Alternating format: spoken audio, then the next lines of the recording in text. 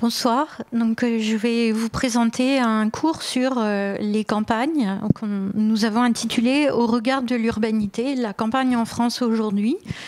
Et euh, c'est aujourd'hui euh, le cours euh, introductif, donc je vais essayer de discuter avec vous de ce qu'est la campagne, le rural. Donc je m'appelle Claire Delfaux, je suis professeure à l'Université Lyon 2 et directrice du laboratoire d'études rurales, un laboratoire pluridisciplinaire qui euh, s'intéresse aux, euh, aux, espaces ruraux sur, le temps long. sur le temps long. Alors, les travaux que je, vais vous présenter ici sont aussi issus d'un collectif. Hein, je prends la parole, mais je dis bien que c'est un, collectif de, chercheurs du laboratoire et, de ruralistes, on, va dire. Et les photos sont toutes de moi, sauf la photo du, du car itinérant. Voilà, c'est parce que j'ai oublié de les référencer. Donc cette première photo euh, illustre bah, les, campagnes à l'heure de l'Anthropocène, hein, le, le, côté euh, bucolique, produit de terroir euh, du vignoble en pleine renaissance qu'est le vignoble de Sessuel, à côté de, de Vienne, mais avec le Rhône comme voie fluviale internationale, l'autoroute, des zones industrielles et en face d'autres coteaux. donc on va dire, euh, euh, verdoyant euh, en, forêt ou en, petit bois. Alors, la campagne, la ruralité, le rural sont des mots qui sont très souvent invoqués et discutés ces deux dernières années. pourquoi? Eh bien, il me semble que deux crises importantes euh, les ont remis sur le devant euh, de la scène, de la scène médiatique, notamment la crise des Gilets jaunes qui euh, a, questionné la mobilité en milieu rural, la précarité ainsi que le recul des services. deuxième crise, celle de la Covid, qui a montré ou fait de l'espace rural un espace attractif finalement pour les citadins. Euh, euh, ces deux crises euh, réinterrogent également la, recherche scientifique et je vous ai mis là deux extraits, alors un extrait de, presse et un, extrait d'une revue scientifique donc, qui est paru ce matin avec un article qui s'appelle La campagne, ça vous gagne et qui revient sur euh, le premier confinement et, l'idée de citadins euh, qui euh, seraient allés à la campagne pendant le confinement et qui aujourd'hui on, a des, des, études ou des questionnements. Est-ce que ce phénomène va se maintenir? Les agences immobilières euh, scrutent euh, l'immobilier en milieu rural ou dans les petites villes qui maillent les espaces ruraux pour savoir si il y a vraiment un départ massif de citadins vers le rural. Euh, donc voilà. Euh, donc c'est réinterrogé euh, aussi par les chercheurs. Et le deuxième extrait que je vous ai mis s'intitule Exode urbain, va-t-on tous quitter les villes pour élever des chèvres à la campagne? Ce titre est intéressant. exode urbain, alors que cela fait des décennies qu'on parlait d'exode rural, et même si cet exode rural est terminé depuis là aussi quelques années, c'est seulement maintenant que l'on voit dans la presse euh, évoquer euh, la question euh, de l'exode urbain. et allons-nous tous quitter les villes pour élever des chèvres mais Cela fait référence au mouvement de retour à, retour à la terre des années 60-70, hein, très connoté post-68 et euh, donc euh, de tous ceux qui sont allés euh, s'installer avec des chèvres. Cette ces attentions nouvelles portées à l'espace rural montrent, ou disons nous présentent, deux images souvent opposées de, de l'espace rural. Celle d'un espace marginalisé par la métropolisation, ce que l'on retrouve souvent, y compris euh, dans des écrits euh, de, géographes, voire un espace de relégation. Hein. C'est un terme qu'on a très souvent lus et entendus dans, dans, la presse, mais qu'on a pu aussi lire dans des travaux scientifiques.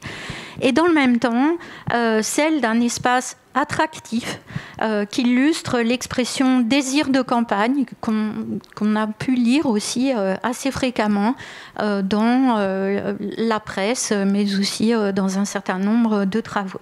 Donc là, je vous présente peut-être deux types d'images un peu contrastées aussi de ce que pourrait être le rural en termes d'habitat. alors ces photos ont été prises juste avant le couvre-feu, donc elles sont, elles sont un peu sombres en hiver, donc euh, d'un lotissement euh, en milieu rural et puis euh, d'un bâtiment euh, Bressan, euh, ancien, euh, nécessitant une restauration, mais il est investi aussi par des acteurs s'étant installés récemment en milieu rural, et justement avec des chèvres.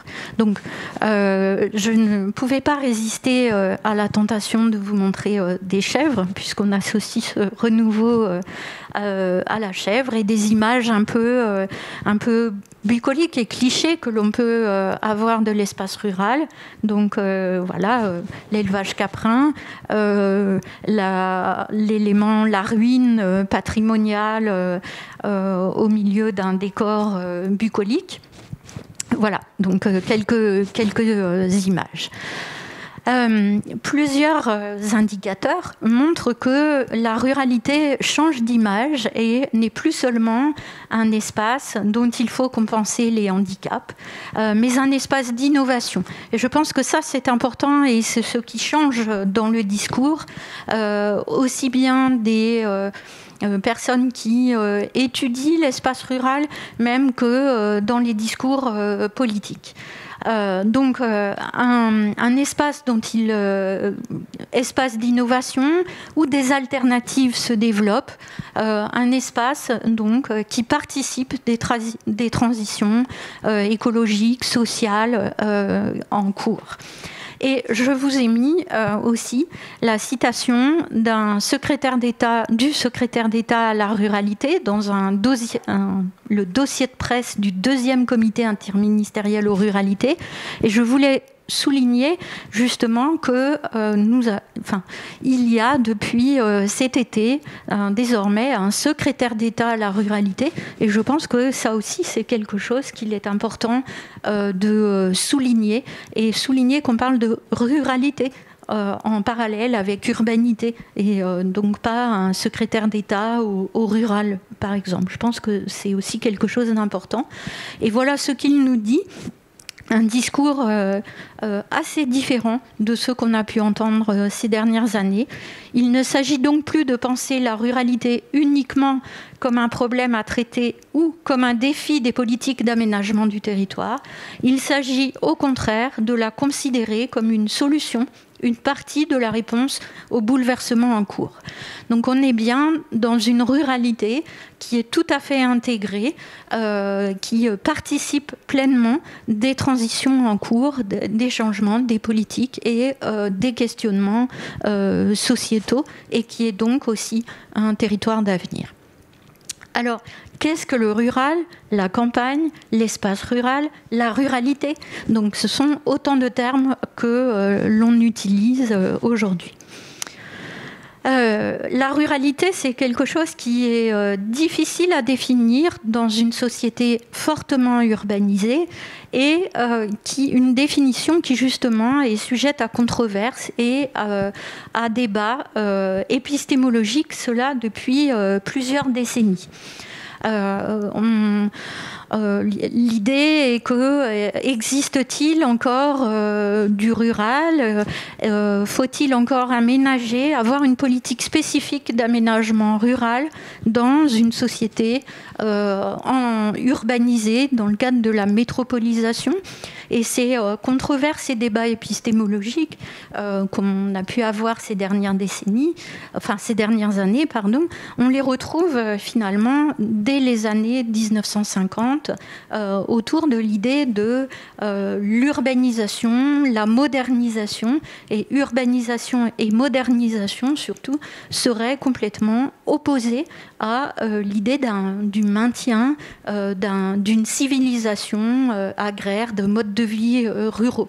Donc, dans les travaux scientifiques des années 50 pour euh, euh, envisager même euh, les évolutions des espaces ruraux, on parle de processus d'urbanisation, dans l'idée que ce qui change, c'est autour d'un processus d'urbanisation et que cette modernisation, elle serait liée à, un processus, ce processus qui apporterait donc de nouveaux modes de vie.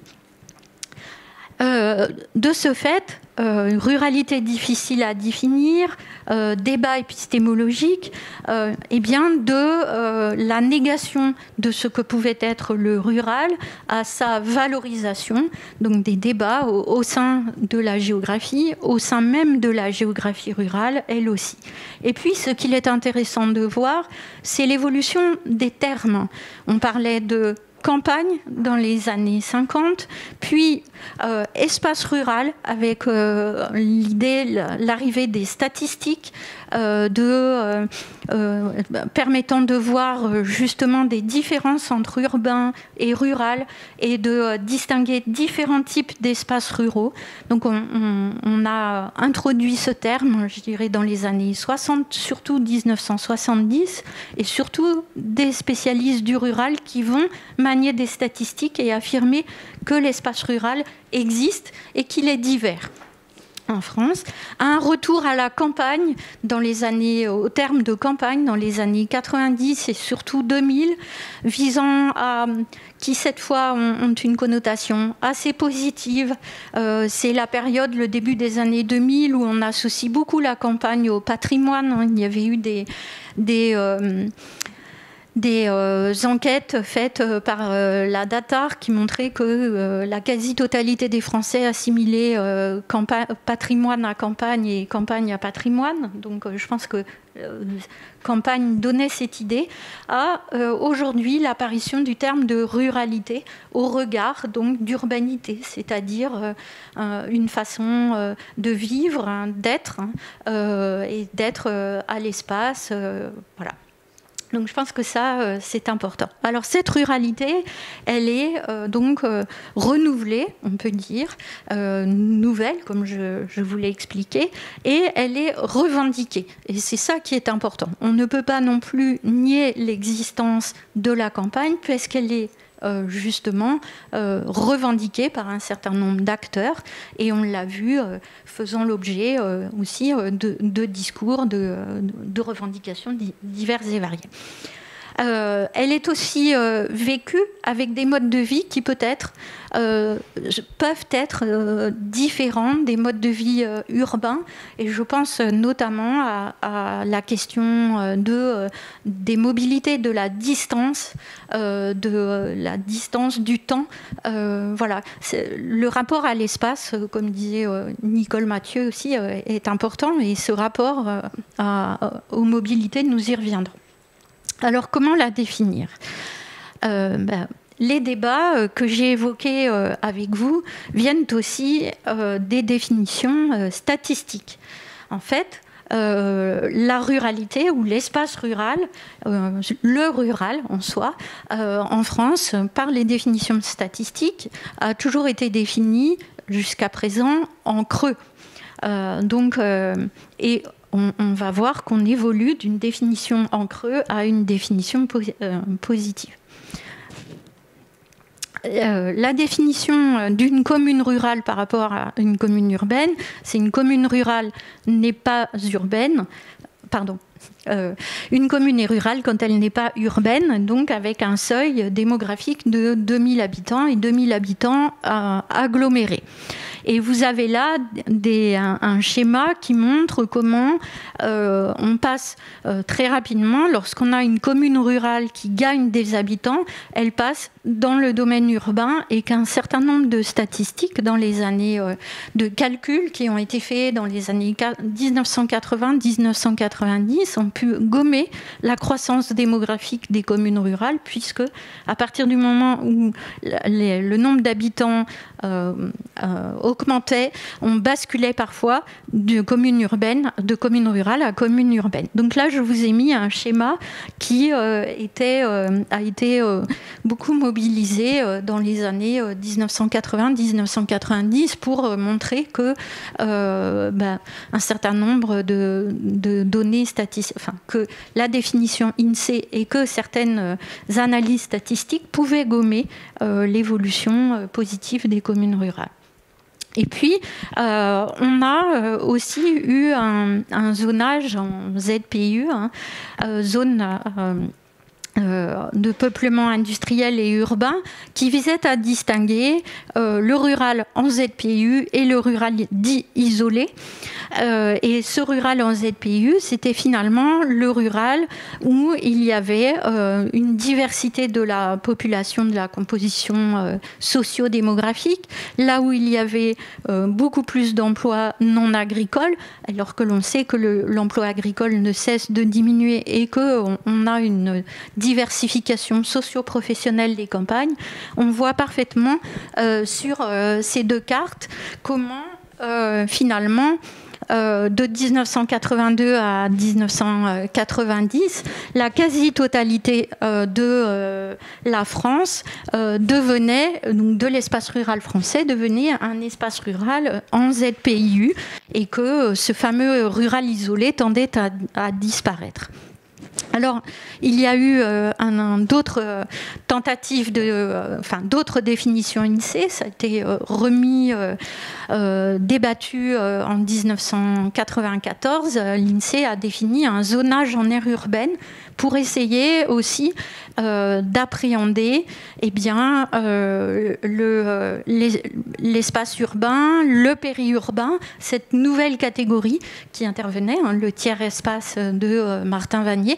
Et donc, avec, en définissant ce zonage en aire urbaine, je ne vais pas vous faire un, un cours de géographie basique pour revenir dessus, mais ce qui est intéressant, c'est que avec ce zonage en aire urbaine, comme on le voit euh, sur euh, cette carte euh, ici, en fait, la quasi-totalité, donc, on, a des, auréoles très très larges autour des villes. Et vous voyez par exemple que la quasi, enfin la totalité de la région Île-de-France, par exemple, est considérée comme urbaine et, donc appartenant au zonage en, aire urbaine, et que euh, le rural, c'est une sorte d'espace euh, interstitiel hein, qu'on va retrouver là, le gris un peu partout, euh, et puis au milieu des petites taches de pôle urbain rose et de couronne de, de pôle urbain. Donc cette définition euh, du zonage en aire urbaine, reposant essentiellement, enfin reposant sur euh, les mobilités domicile-travail, en fait, euh, ne convenait pas non plus pour définir ce que pouvait être de façon positive l'espace rural. C'était encore une fois un espace relique que l'on pouvait lire dans ces zonages. Depuis cette année, on a une nouvelle, euh, un, nouveau zonage euh, rural euh, qui repose cette fois sur la densité. Donc c'est un, zonage qui répond aussi à, des formes de définition et de délimitation européenne. Et ce zonage découpe permet pardon, de euh, distinguer euh, le rural euh, très, enfin, pardon, les espaces très denses, les espaces de densité intermédiaire, le peu dense et très peu dense. et là, vous avez en face le nombre de communes.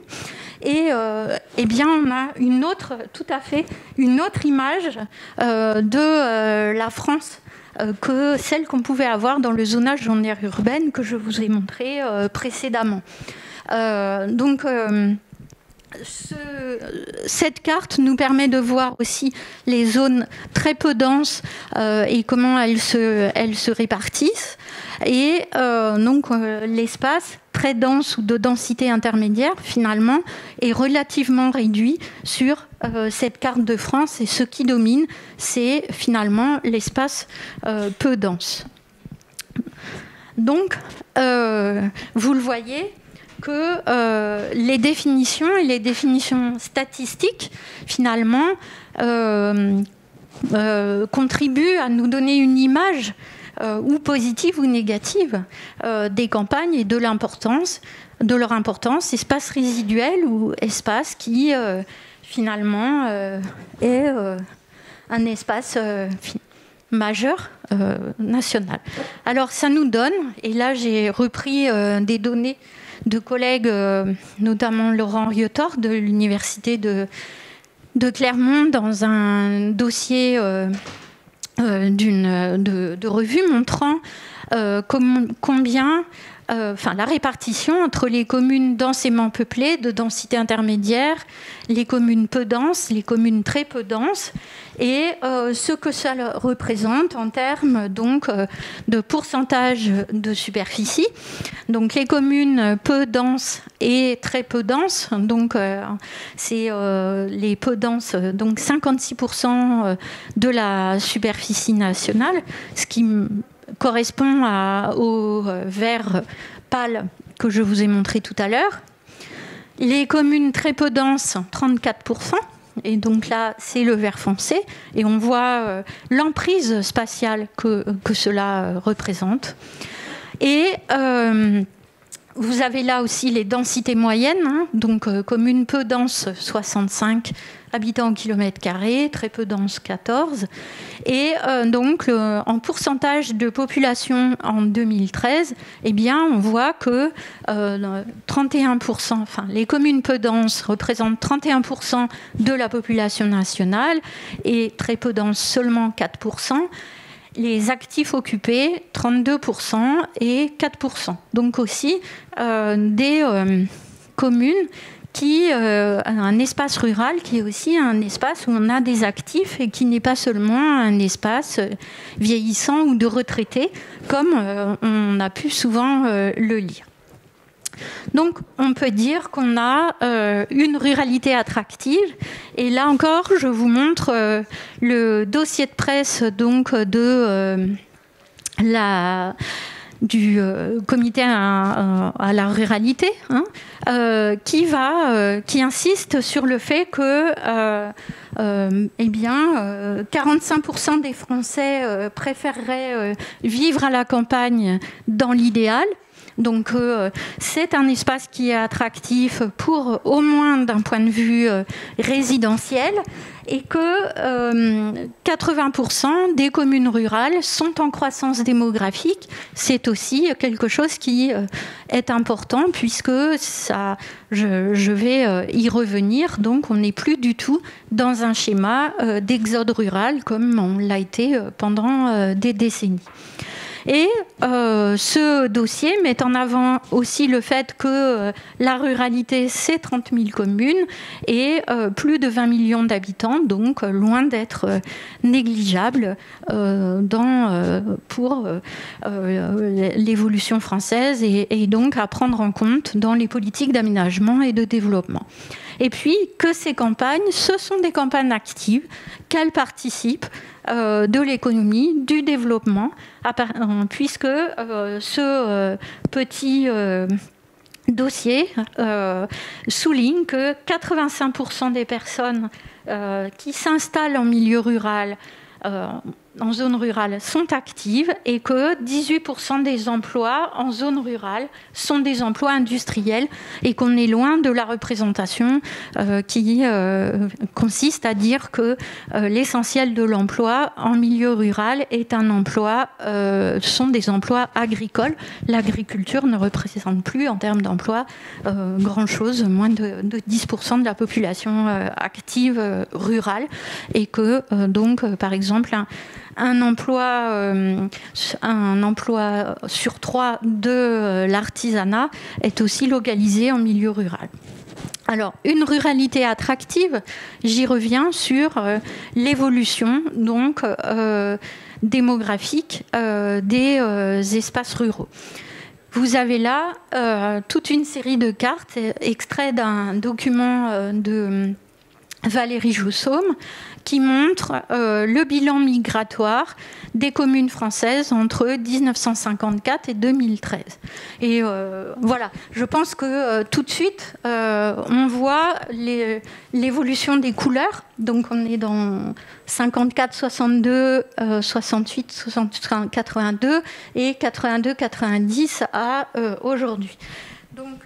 Euh, on voit que effectivement de 1954 à 1962 et même de 1962 à 1968, voire jusqu'à 1975, on est bien dans euh, bah, ce que l'on a appelé l'exode rural. Et l'exode rural, c'était euh, eh essentiellement des jeunes qui quittent définitivement les communes rurales pour aller vivre en ville. Hein, voilà. Et comme ce sont les jeunes qui partent, eh bien, au bout de quelques années, on va avoir non seulement un solde migratoire négatif, mais aussi un solde naturel, c'est-à-dire une population de plus en plus âgée et donc plus de, morts que de naissances. Et puis, euh, on voit très bien que entre 1975 et 1982, on a un changement euh, très net euh, de de couleurs euh, et qui euh, s'étalent, donc euh, des couleurs plutôt positives, et qui s'étalent, qui ne sont plus seulement dans que le bleu tente à se réduire. Hein, et donc, euh, c'est effectivement entre les recensements de 1975 et 1982 que l'on voit euh, ce que l'on appelle, ce que nous, ruralistes, nous avons appelé le renversement des courants migratoires. C'est-à-dire qu'à partir de cette période, les communes rurales ne perdent plus d'habitants, mais gagnent euh, des habitants. Donc avec des sols, un solde migratoire positif. Et ce qui est intéressant, c'est que justement, à l'issue de ce recensement, euh, cela a donné lieu à des débats et on s'est demandé si euh, c'était euh, juste une sorte d'accident ou si c'était ce renversement des courants migratoires ne tenait que en fait à un phénomène de périurbanisation ou rurbanisation. En fait, ce phénomène, on voit qu'il s'est maintenu et que euh, la croissance démographique, vous voyez que la France est de plus en plus euh, dans les tons euh, jaunes et orangés, et que donc les, zones bleues tendent à diminuer, et que cette, on est plus dans des variations régionales que dans des oppositions urbains-rurales. Ce que l'on voit aussi, qui est intéressant, c'est que on se disait justement dans les, euh, années 70, 60-70, que à partir du moment où on arrivait à un certain seuil de population, eh bien, euh, au-delà, enfin, de 20 habitants au kilomètre carré, plus jamais les communes pourraient regagner des habitants, parce qu'il n'y a plus de services, plus de vie, etc. Et on se rend compte que même dans des espaces où euh, justement on a euh, finalement euh, des espaces de très faible densité, eh bien dans ces territoires, eux aussi tentent à gagner des habitants. Voilà. Et on voit entre 2009 et 2013 que ben, finalement les zones qui perdent des habitants, c'est toujours cette France rurale aussi de l'Est. une partie donc euh, de Normandie ici, mais aussi toutes les couronnes parisiennes, et puis euh, quelques, euh, quelques points aussi dans le, sur les marges du Massif central. Ce renversement des courants migratoires entre 1975 et 1982, il est à, associer à la montée de la maison individuelle. Hein, euh, et euh, Donc, c'est-à-dire la possibilité pour un grand nombre, de, enfin, le, renversement aussi d'un modèle de mode d'habiter. Donc, c'est le fait de la modernité ou les envies de la société ne sont plus de vivre dans des immeubles modernes avec le confort, mais d'avoir euh, sa maison individuelle. Et donc, à partir de 1975, on va avoir en milieu rural un phénomène de euh, croissance de la construction neuve. On avait très peu construit. Euh, jusqu'aux années, euh, depuis euh, quasiment la fin du 19e siècle jusqu'aux euh, années 1975. Donc, construction neuve sous forme de lotissement ou de maisons seules, et puis rénovation aussi du bâti ancien en milieu rural, induisant une forte dynamique de l'économie du bâtiment. Alors, ce euh, renversement des, courants migratoires et le fait que les communes rurales sont attractives et qu'elles ne sont pas attractives seulement euh, depuis euh, le confinement, est intéressant aussi à regarder dans les communes qu'on appelle les communes de l'hyper-ruralité. Alors, c'est quoi l'hyper-ruralité? Eh bien, c'est euh, depuis 2014 euh, et un, rapport sénatorial, l'hyper-ruralité, c'est euh, défini comme les espaces où les habitants sont assez éloignés les uns des autres et qu'on est dans des très faibles densités avec justement des questionnements, des questions importantes sur les mobilités. Et ce que montre cette carte, c'est que eh bien, les communes de l'hyper-ruralité euh, ne perdent pas toutes des habitants, mais que certaines gagnent des habitants. Donc euh, que l'hyper-ruralité, ou ce que l'on appelait euh, certains appelaient auparavant les espaces ruraux défavorisés, finalement, aujourd'hui, sont aussi attractifs. D'accord? Et ce qui est intéressant, c'est de voir qu'on parle d'hyper-ruralité et de, non plus de territoires fragiles ou de faible densité, etc. Et qu'on n'est plus donc dans une connotation négative, mais euh, dans euh, un, un, qualificatif qui est peut-être plus neutre. Alors, cette ruralité, elle est euh, diverse. Euh, elle est diverse par euh, la proximité ou l'éloignement à la ville.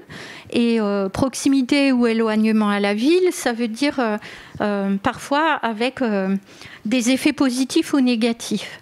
La proximité de la ville peut engendrer un phénomène de périurbanisation ou une proximité euh, par euh, une, accessibilité importante euh, à la ville. Par exemple, je pense à un des secteurs de la Drôme où on peut aller rapidement chercher un avion à Aix ou des gares TGV, par exemple. Peuvent être, avoir un effet positif euh, sur euh, l'attractivité résidentielle et dans certains cas peuvent aussi peut-être avoir des effets euh, plus réduits sur les divers types d'activités. L'éloignement à la ville euh, eh bien, peut aussi être un facteur euh, négatif. L'éloignement à la ville, considéré comme lieu où on trouve euh, les services, les loisirs, etc. Mais dans certains cas, aujourd'hui, on a aussi des personnes qui vont aller rechercher justement des lieux très éloignés, voire des lieux où, par exemple, on n'a pas accès au numérique. Donc, une ruralité diverse par la proximité et l'éloignement à la ville, proximité et éloignement à la ville qui peuvent jouer de façon ou positive ou négative suivant les territoires. La ruralité, elle est diverse aussi par euh, les dynamiques démographiques. On l'a vu, des espaces qui euh, gagnent des habitants et des espaces ruraux qui perdent des habitants. Ce qu'il est intéressant de voir, c'est qu'on a des effets de, de zonage un peu régionaux qu'on a vu tout à l'heure une ruralité diverse aussi par les orientations socio-économiques et on a défini des types d'espaces ruraux, les campagnes résidentielles, les campagnes euh, touristiques, euh, des campagnes euh, agricoles, des campagnes industrielles aussi, donc les orientations socio-économiques et différentes fonctions des espaces ruraux. Mais cette diversité, elle tient aussi à peut-être, euh, on parle aujourd'hui, euh, enfin, on a des espaces ruraux qui sont majoritairement dans les statistiques en situation euh, de pauvreté et précarité, et des espaces ruraux où on a des populations à, à, fort revenu.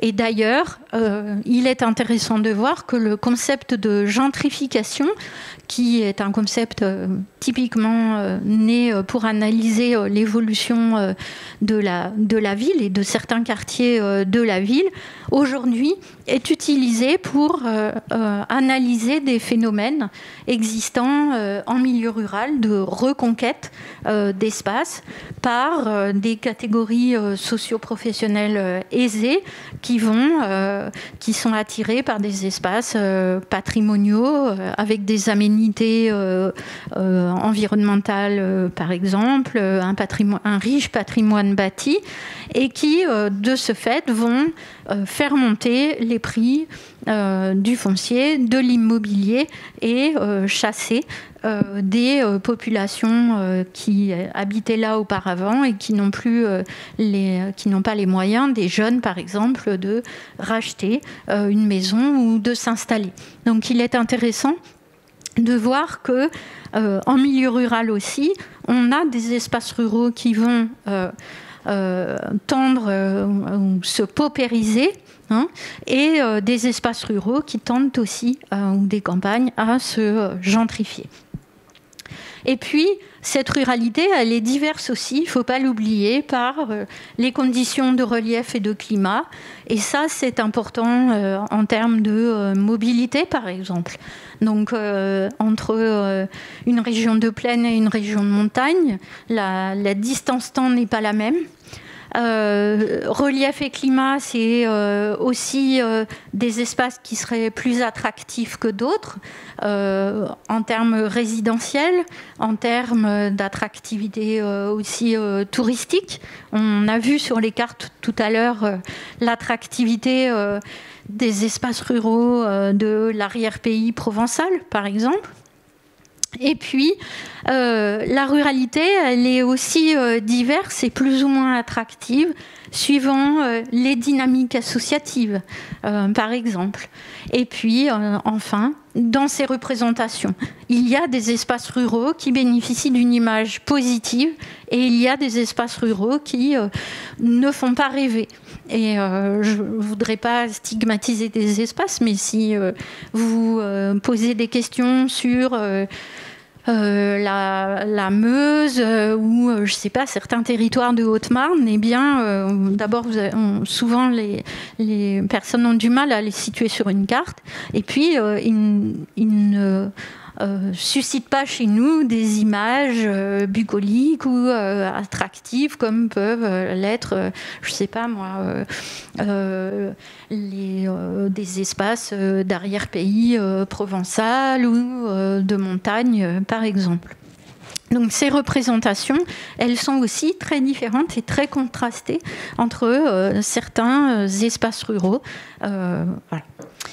Donc, euh, une diversité des campagnes, mais aussi euh, pour euh, saisir un peu ces mouvements démographiques, ce que peuvent être les campagnes aujourd'hui, on va dire qu'on a des parcours qui ne sont plus linéaires entre ville et campagne, mais qu'on a plutôt des parcours de vie qui sont, euh, euh, pas pour tous, mais assez fréquemment, euh, avec des allers-retours entre l'urbain et le rural. Donc on n'est pas on n'est plus dans l'exode rural, on quitte définitivement.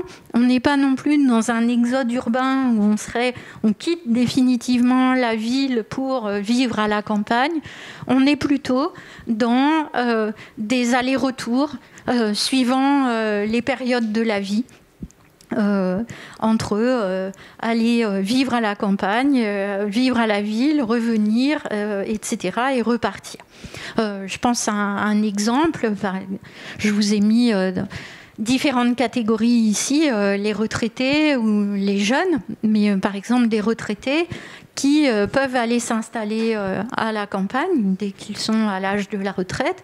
Et puis, au, bout d'un moment, euh, quand arrive, je ne sais pas, le quatrième âge, avoir du mal à conduire et donc aller vivre, retourner vivre en ville, la petite ville d'à côté ou la ville moyenne où il est plus facile, où on n'a pas besoin de se déplacer en voiture, par exemple. Donc, vous le voyez, euh, des allers-retours euh, entre euh, espaces ruraux, villes. On est bien dans un jeu entre ces territoires et plus une opposition aussi nette dans, dans les parcours de vie. Alors, je voulais regarder aussi deux catégories. qui, sont souvent évoquées quand on parle du rural, les retraités. On parle du vieillissement des espaces ruraux, oui, un vieillissement euh, comme dans euh, la société française, euh, et des retraités qui, c'est vrai, vont s'installer pour certains à la campagne, mais qui sont aussi des acteurs du développement rural. S'installant en milieu rural, ils vont avoir besoin d'un certain nombre de services en termes de santé, commerce, par exemple, et susciter la création d'emplois. De même, les retraités, euh, bah, dans leur phase euh, où ils sont à la retraite encore jeunes, euh, ils arrivent à l'âge de la retraite, s'ils s'installent en milieu rural, le plus souvent, c'est pour s'impliquer dans la vie associative, dans la vie locale, et donc sont aussi des acteurs du développement rural. Donc il ne faut pas... il y a un numéro euh, récente de la revue Pour hein, sur, euh, le, les, sur euh, vieillir à la campagne et une association qui s'appelle L'Or Gris et qui montre bien le rôle des personnes âgées et que ce sont donc des personnes qui contribuent aussi au développement. De même, si on dit que les campagnes vieillissent, on a l'impression que les jeunes, on a souvent eu ce discours, quittent les campagnes. Euh, en fait, on se rend compte aujourd'hui que les campagnes attirent aussi euh, des jeunes. Pas toutes, bien sûr. Euh, on, l'a vu, le poids des représentations, les caractéristiques sociodémographiques, la proximité ou non de la ville. les, emplois disponibles jouent, interviennent dans cette attractivité, mais donc des campagnes qui attirent des jeunes qui s'installent avec des projets euh, parfois euh, innovants, alternatifs, euh, et qui, pour certains, réinventent d'anciennes caractéristiques rurales comme la pluriactivité. On, voit un certain nombre, par exemple, de reconversions aussi professionnelles ou de jeunes qui ont fait des études et qui viennent avec un, capital, on va dire, social, intellectuel et même financier, s'installer, créer euh, des activités euh, en milieu rural qui, pour certaines, euh, bah, sont créant peut-être des TPE, des très petites entreprises qui sont parfois pluriactives.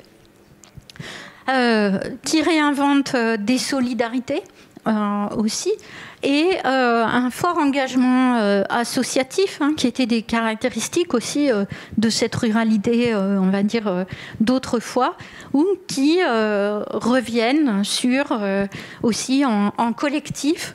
On voit aussi de plus en plus, même si ce phénomène est marginal, mais pas pas, pas, si anodin que ça, des collectifs s'installer en milieu rural et euh, euh, ces, jeunes, ces personnes qui viennent s'installer, eh bien, elles, euh, elles portent, elles, c'est réfléchi, c'est pensé comme un, autre mode de vie, c'est dans un, parcours le plus souvent donc réfléchi, c'est pas c'est pas seulement une, simple opposition, c'est aussi constructif.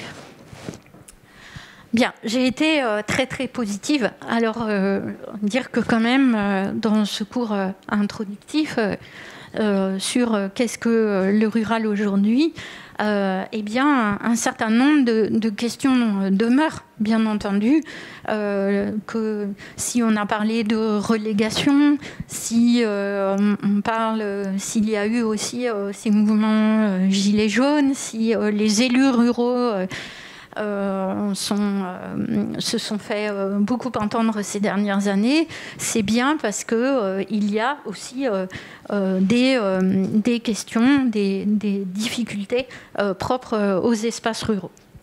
Le premier, bien sûr, c'est l'accès aux services, hein, et c'est une question longue euh, qui n'est pas pas nouvelle. On a eu euh, euh, des, évolutions, une amélioration de certains services dans les années 1970 avec la création, l'accès aux banques, aux médecins, aux premières grandes surfaces qui se sont implantées à partir des années 80, 1980, surtout en milieu rural, les, les petites et moyennes, enfin moyennes surfaces plutôt et euh, aussi une rétraction des services qui euh, correspondait à la phase de recul de la population rurale et à l'idée qu'avec la mobilité croissante des populations, euh, et notamment la diffusion de l'automobile, eh bien, on n'avait plus besoin euh, d'autant, même en, termes de services publics, d'écoles, de, bibliothèques, d'un certain nombre de services qui ont fait qu'ils sont reculés. Ils ont reculé. Euh, toutefois, ce qui est important de voir, c'est que les réformes de ces euh, dernières décennies pèsent et euh, qu'on a à la fois un recul des services en milieu rural et un certain nombre de services et des services publics, alors qu'on a un renouveau démographique et euh, aussi, je vous l'ai dit, euh, des modes de vie et des attentes euh, différentes qui vont faire qu'on a des demandes croissantes sur l'accès aux services et un certain nombre de services. Donc, une carte hospitalière, une carte judiciaire, des trésoreries, etc., qui font qu'il y a eu ce sentiment de relégation ces dernières années. des dynamiques de recul qui sont en lien avec celle aussi euh, du recul des services dans, dans, les petites villes. Des interrogations sur l'accès à la santé. Tout le monde a entendu parler de euh, comment euh, faire venir un médecin dans une commune rurale. Et j'étais encore il y a deux trois jours à faire des enquêtes et au cœur d'une commune rurale, au fin fond de la, de la Bresse, un panneau à l'entrée du, village. nous cherchons en urgence un médecin. Donc voilà, c'est pas pas anodin, même à quelques kilomètres de Lyon. Euh, et puis des questionnements euh, autour des jeunes, sur euh, l'accès à la formation des jeunes, aux loisirs. C'est un questionnement beaucoup plus récent, celui de l'attention portée aux jeunes ruraux. Donc la question centrale, c'est bien celle aujourd'hui qui se pose en milieu rural des mobilités, l'enjeu des transports publics, et euh, donc euh, l'accès aux services par les transports publics, entre autres. Enfin, comment avoir accès aux services qui s'éloignent? On, peut avoir besoin de transports publics, or on sait qu'ils sont pas très développés en milieu rural et qu'ils ont considérablement reculé ces dernières années. Il suffit de prendre par exemple l'évolution des petites lignes ferroviaires et des résistances euh, qui, euh, qui ont lieu de plus en plus sur, euh, lors de la fermeture de ces petites lignes. la voiture oui, on dit ça on peut compenser par euh, bah, une mobilité plus grande et euh, la diffusion de l'automobile. Ce sont bien les ménages ruraux qui ont le plus de voitures par ménage. Oui, mais euh, eh ça pose un certain nombre de questions pour les jeunes, par exemple, les jeunes avant 18 ans qui n'ont pas le permis, mais même après, en termes de besoins de formation, euh, d'accès euh, aux loisirs, mais pas, enfin, de formation en termes d'apprentissage, d'emploi, etc. Pour les personnes très âgées, je vous l'ai dit. Euh, mais aussi la mobilité reposant essentiellement sur l'automobile pose question à l'heure des transitions et des transitions environnementales notamment. Hein, comment se déplacer euh, en milieu rural en, essayant euh, d'avoir euh, le moins recours possible à l'automobile. Donc je vous avais mis, euh, mais euh, finalement j'ai été euh, plus lente que prévu, quelques verbatims sur les, des jeunes sur commentant la question des transports en commun et le frein à l'accès au permis. Donc bah, par exemple, à la campagne, il manque des transports en commun et la fréquence de leur passage est insuffisante. Une autre, j'habite dans un village très étendu, le bus s'arrête à l'entrée du village, j'ai au moins une heure de route pour rentrer à pied chez moi. Donc euh, même s'il y a un bus, mais si on est dans de l'habitat dispersé, euh, on n'arrive pas à sa porte. Euh, le permis, ça facilite les déplacements, on est moins dépendant des familles. Oui, mais il y a des freins au passage de permis. Bien entendu, le coût, le manque de temps, l'éloignement même de euh, l'auto-école. Euh, autant de points qui donc posent question sur l'accès au permis, sans oublier en fait le, fait, disent ces jeunes, que on peut s'entraîner pour le, code avec le numérique et que certains, pour certains, l'accès au numérique en milieu rural, c'est pas si facilement que ça. Donc, euh, cette question des mobilités sur les jeunes qui euh, va donc euh, avoir des effets sur la recherche d'emploi, comme je vous l'ai mis là. Il faut avoir une voiture pour trouver un emploi en milieu rural et aussi pour aller en apprentissage. les questions qui se posent, et on y reviendra au fur et à mesure des séances, portent aussi sur la gouvernance patrimonialisation des espaces ruraux, protection environnementale, euh, cela pose des questions. Euh, je pense euh, au débat récent sur l'achat d'hectares par une association pour en faire une sorte de, réserve et qui donc peut se faire en termes de foncier au détriment des agriculteurs ou des usages collectifs. Donc il y a aussi cette gestion du foncier, gestion pour le bâti mais euh, gestion aussi, euh, usage de loisirs, usage de production, de production agricole, autant de questions qui se posent. Des questions aussi euh, sur la gouvernance, mais aussi en termes de politique de développement rural et de d'ingénierie. On sait que les espaces ruraux manquent d'ingénierie par rapport aux, villes et que euh, ça peut être aussi à un moment donné euh, des freins au développement, mais nous y reviendrons à travers une des questions. Et puis, sur les intercommunalités, notamment, eh bien, les dernières réformes territoriales ont, ont, créé de grandes intercommunalités qui sont euh, autour des villes moyennes. Et en région Auvergne-Rhône-Alpes, là, par exemple, on a ici euh, l'intercommunalité euh, autour de la ville de, Bourg-en-Bresse. Hein. ça fait, je crois, 74 communes autour du Puy, ici, dans le département de Haute-Loire. Donc, comment euh, dans ces espaces intercommunaux très larges avec une ville-centre au milieu vont se faire euh, euh, la, gestion des communes rurales et du rôle de cette ville-centre avec les espaces ruraux autour. Ces espaces ruraux, pour répondre à, ces euh, enjeux euh, que, l'on vient de voir, il y a des politiques spécifiques qui peuvent être mises en œuvre.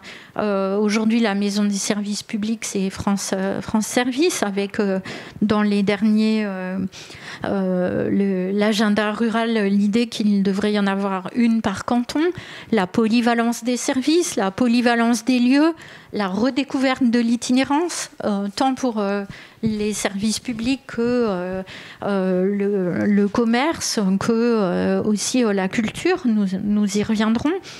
Des politiques plus territorialisées et qui, euh, euh, à l'échelle de l'intercommunalité et qui se croisent. On y reviendra aussi quand on traitera de la, de la question de la culture, des politiques culturelles et, sur la pauvreté et la précarité. Ou, ce qui est intéressant aussi, c'est de voir que récemment, on a des politiques urbaines qui tentent à se décliner en milieu rural et je trouve très intéressant de voir comment des politiques, par exemple en matière d'éducation, qui, qui, ont été pensés peut-être plus sur les quartiers en politique de la ville euh, aujourd'hui sont aussi euh, pensés et commencent à être déclinés euh, en milieu rural.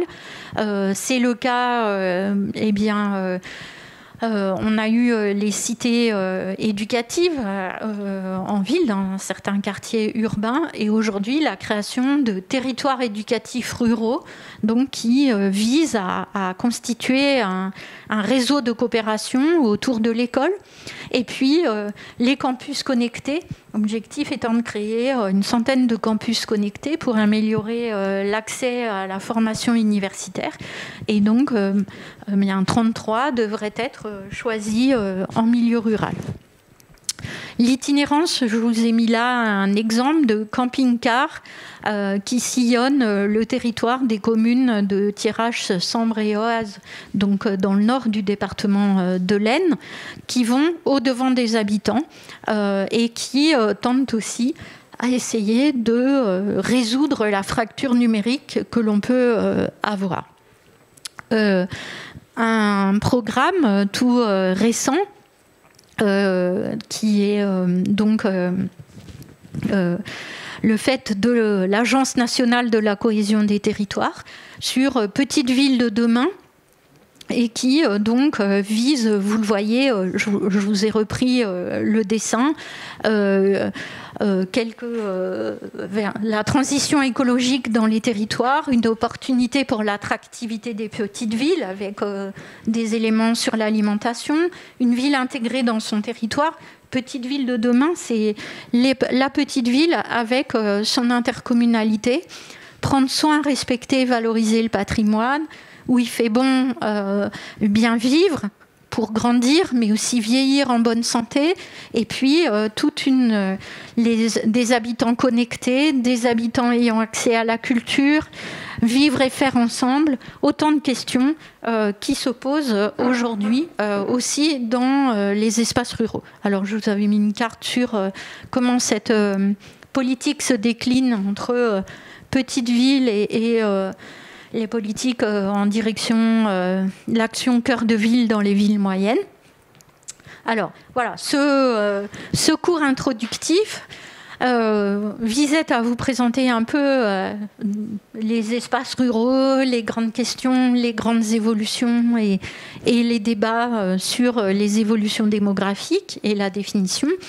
Et donc les prochaines séances traiteront de la question de la culture, une question qui est inhérente même à, la, question de la ruralité, à ses représentations.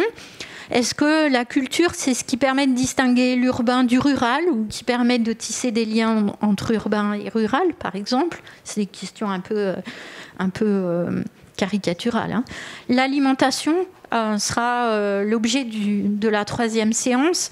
L'alimentation, c'est une question sociétale majeure et euh, toutes les crises que nous vivons ces dernières années euh, le montrent, et, la dernière, euh, celle de, la Covid aussi.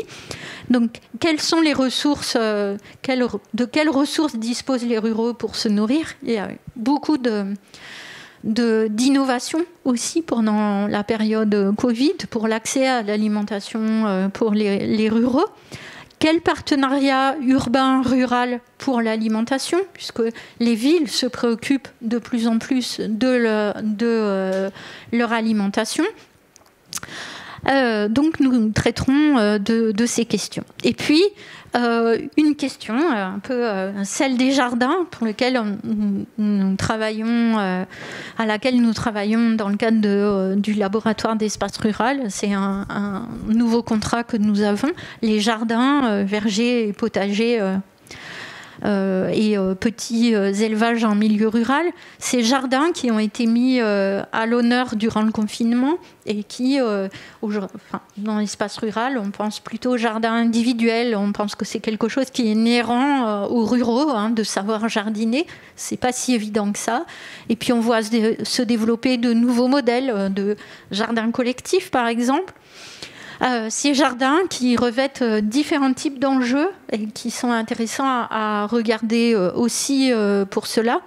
Des enjeux alimentaires, des enjeux environnementaux, de patrimoine, notamment biodiversité domestique, mais aussi d'urbanisme rural. Quelle place on leur donne et puis des hybridations euh, de modèles, des réseaux euh, urbains, ruraux euh, autour de ces jardins. Et enfin, nous regarderons ensemble les spécificités de la pauvreté et de la précarité en milieu rural et des politiques qui peuvent être mises en œuvre et des questionnements que cela pose en milieu rural en lien avec aussi des recherches menées au laboratoire d'études rurales et associé à euh, Cap Rural, qui est un centre de ressources euh, sur euh, le rural en région Auvergne-Rhône-Alpes. Toutes ces séances, comme celle d'aujourd'hui, nous permettront de réinterroger les liens ville-campagne, les réseaux, les formes d'hybridation entre urbain et rural, ainsi que la mobilité. Et voilà, je, je, beaucoup de photos euh, étaient des photos un peu clichés hein, aussi. Donc je me suis permis de vous mettre un coq euh, pour euh, les débats autour du coq Maurice. Merci.